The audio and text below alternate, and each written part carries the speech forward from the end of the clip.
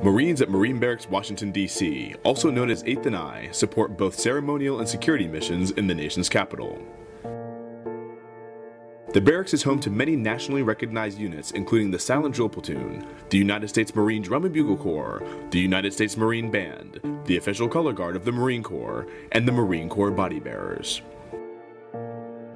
Most people know 8th and I as the oldest active post in the Marine Corps.